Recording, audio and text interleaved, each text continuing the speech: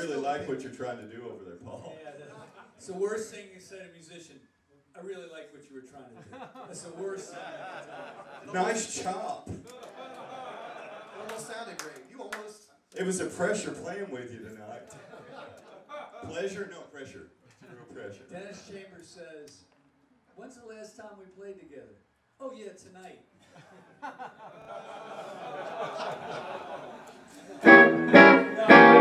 No, he meant it. Yeah. In other words, you were so bad, we're done. Yeah. I did a gig with a guy one time and it really hurt my feelings. I said, So, how was that? And he looked at me and he goes, You're better than you were an hour ago. yeah, I know. I love that guy. He, he made an impression. We're still talking about him. Thank you, Danny Hamlin. Wouldn't it be worse if he said you were better an hour ago than you are now? And he's like, You better you were an hour ago. Like, it, like you were an off an hour ago, but now you're just, you're still bad, but it's all right. That's nice. Yeah, thank you, Danny Hamlin. That's. You never forget those things. like, he keeps saying the name over and over again. I just want him to get a shout out if he's watching this. So in the Google search for his name, you're going to come up. Thank you very much for ruining my life. I, I love Danny, Yeah, but. I'm in tune and you're not, so eat it. No. All right, so there's been a lot, of, a lot of uh, guitar playing talking tonight, and really what we're doing are, are building. The, the idea here is we're building tools that Emil can do what he's doing, or Boscoe can do what he's doing, or, or I can do what it is. It's it's meant to be a tool that you can do whatever you want with the guitar, and so from that side, there must be questions that people have um, about things they want to know that is in that long list that I started at the beginning of things. So I want to open this up to questions because I find that our wonderful discussions get started out of nothing, which is just good fun. Yeah, you can start. What's going on with Rosewood at this point? Wow. All right, you had to go there, didn't you? Uh, Yeah, so CITES decided, without asking the industry in a way, they said, not only do you need a document to import it into the United States, but now every single guitar that has a piece of East, East Indian rosewood that leaves the country has to have a government document. And not, not the load of wood. When you bring it in, it's the load of wood. Now it has to be an individual document. I need one document for the entire cargo. But now I need a single document for every guitar that leaves. Great. Which means Reverb can't ship guitars overseas anymore without the documents. They're probably going to change it because they didn't really understand that East Indian rosewood. I, I, I, what? I just heard that they might change it due to the fact that the furniture takes out so much more of the No, wood, the furniture industry is. It was started because of the Chinese furniture industry taking too much of the Vietnamese rosewood, which the guitar industry doesn't even use. But they decided that because you couldn't tell the different rosewoods apart, they would put it on all of them.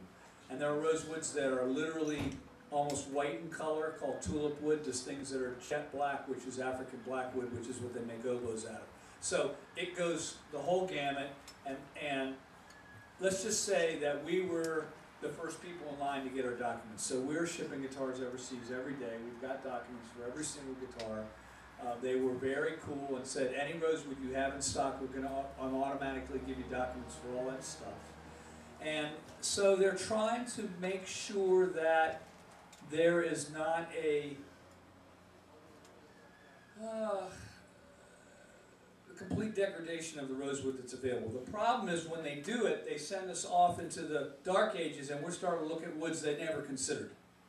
And uh, there's some woods that are replacement woods that Fender has decided to use as striped ebony and pau ferro, which is a catch-all term for many different species.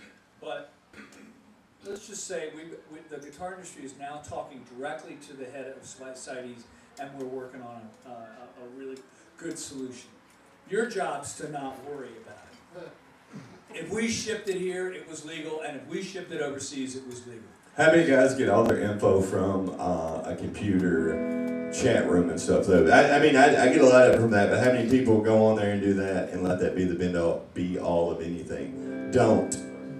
Um, because a lot of times, just because a critic gave an album a bad review, you may love that album. Um, same thing with a guitar. Um, everybody likes different things. Like when you read the review of a guitar, like there are certain things we all want. We all want pickups that work and, and a nice neck, but what is a nice neck? Hmm. Your hand may be bigger than mine, your hand may be smaller. Those things are all different. They're differences. That I get so irritated, even with like these guitars. These are both PRS guitars. They differ in construction, obviously. One probably was more painstaking to make, so it would cost more. Doesn't make it better, but for what he does, it's more suited for his style. So most definitely, it's better for that. So let me, let me go a little farther to where he's pointing at. One of the people in my family got sick, and Johns Hopkins um, told us, whatever you do, don't go on the internet because it's old information. You gotta be really careful. What's go, really going on behind the scenes is not exactly what's going on. So I'm telling you that, that all the companies are trying to do the right thing. Uh, we found several replacements, and we're not gonna make you an inferior guitar, we're just not gonna do it. So does that answer your Rosewood question? All right, so you, but you had a question in the back. No, actually, my little guy right there had one, but he's too shy. All right, so who, who's the little Um, guy? This little blonde guy, you can't see him, but I'll ask for him. He wants to know if there's any, if PRS has ever considered making a junior for the smaller guys. All right, so One first might of be his all, size. first of all, you don't have to be his spokesman. So what is your name? Brayden, Hey, Okay, so you yell the question, not her. are you ever gonna consider making a junior size PRS? So what is your definition of junior size? Like three quarter? Three quarter? All right, so if you multiply everything times 0.9, the guitar is actually pretty small.